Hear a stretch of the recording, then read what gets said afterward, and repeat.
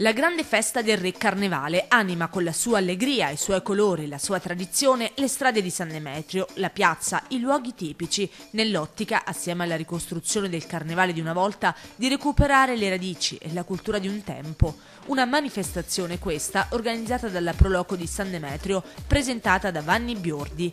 Riproposto dopo anni il funerale di Re Carnevale, una festa che è stata messa in campo per la prima volta dopo una preziosa opera di ricerca e dopo un accurato studio su fonti scritte, orali e materiali.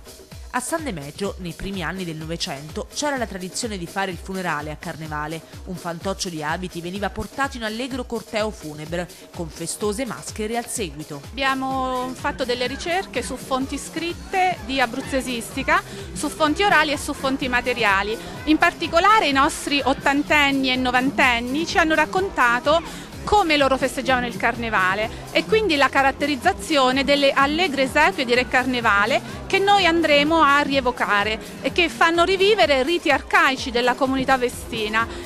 L'aspetto particolarmente caratterizzante del nostro carnevale è il profilo etnografico perché appunto abbiamo ricostruito sia nelle, nei ruoli dell'Allegro Corteo, eh, ciò che più era eh, fedele ai primi anni del 1900. Inoltre abbiamo anche alcuni eh, eh, elementi del corteo, ad esempio il fantoccio, che è stato ricostruito proprio da eh, nonna Agnesina e da nonno Mimino, eh, classe 27 e classe 30, che si sono rimessi in gioco e quindi hanno ricostruito proprio il fantoccio che noi andremo a portare nell'allegro corteo funebre. Negli anni 40 sulla Civera il morto carnevale era una persona che durante il tragitto mangiava tagliatelle al sugo in un vaso da notte. Nella ricerca storica, per riproporre il carnevale più fedele possibile a quello dell'epoca, fondamentale la collaborazione degli anziani del popoloso comune. Magari si metteva un pupazzo sopra la civera, si chiamava un, eh, una portantina che si usava per la campagna, mettevano carnevale e poi giravano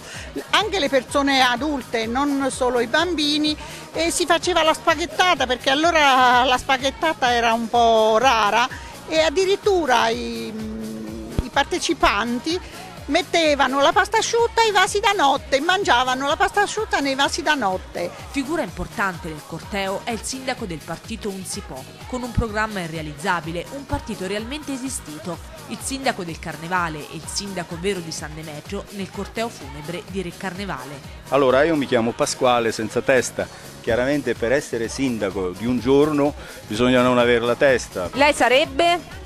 Il figlio di Re Carnevale. Quando è serio fa anche il sindaco. Sì, ma in questo momento mi hanno coinvolto, perché non dare la, la, disponibilità anche per fare queste cose? Dopo il corteo, spazio al concorso con tutte le mascherine più belle, anche a scene rappresentate dai bambini. Un'esperienza bellissima per la comunità di San Demetrio e per tutti quei turisti accorsi in questa festa tipica e originale, terminata con la lettura del testamento di Re Carnevale e con il falò. Una figura, diciamo, un po' insomma, che deve portare il testamento di Carnevale.